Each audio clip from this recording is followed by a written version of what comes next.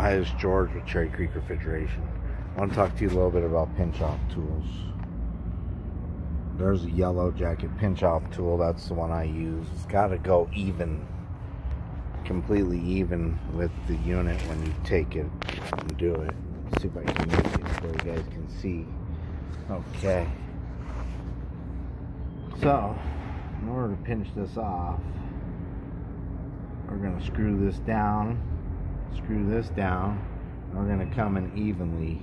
A little bit here, a little bit here, a little bit here, a little bit here, until we get flush with the system.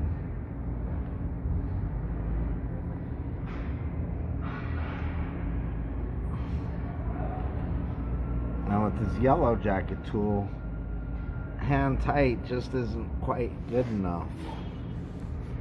So what we have to do is we have to grab a wrench and we have to tighten it up better.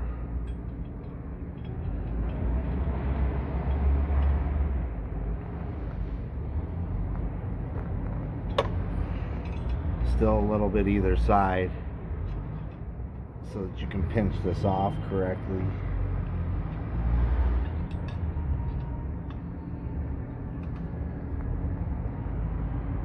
The R290, you're not allowed to leave the caps on it. They don't want the caps on the 290 systems. And the reason why is because there's only a few ounces of refrigerant in each one. And what happens is somebody will put a gauge on it and then it'll be undercharged. Okay. So now we got that completely tight and all the way down. Come over to your gauge. So you got 100 pounds of pressure in there. We're going to release it. And then we're going to close it back up. And see, I don't know if you can see that. Needle's still rising. That means it's not closed tight enough yet. So, go back over to here. Close this a little tighter.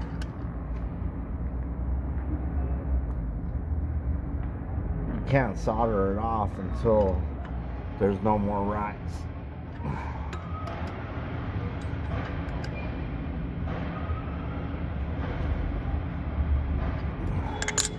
Okay.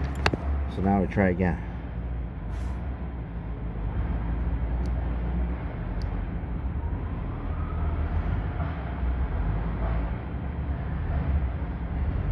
Still rising. Still unable to close the system. So, get a little tighter.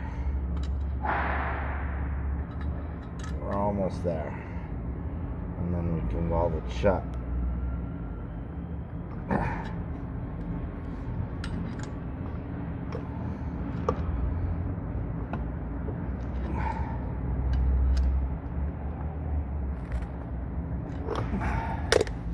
Okay, see, we got it.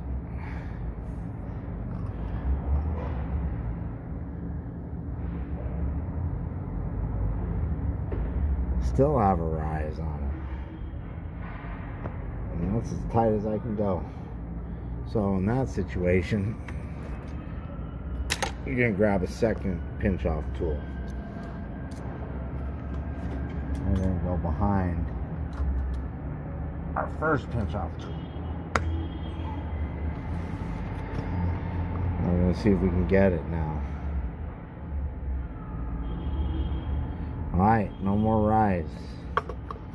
So now we do is cut this completely off.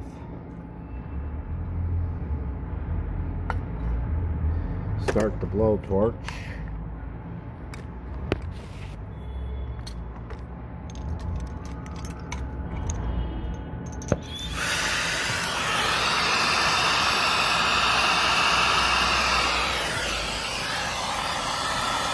I only heat the tip of this area.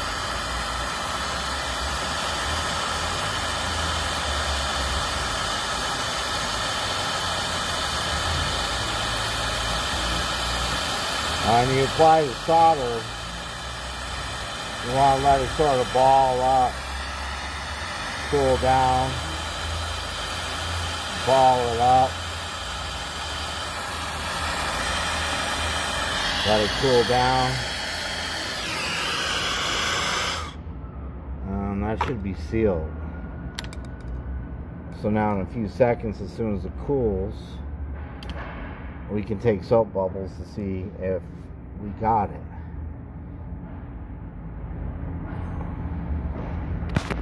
So it's basically how you do a pinch off um, on a system. So remember R290, you can't leave the valves on it. It's against the law. So just remember you have to pinch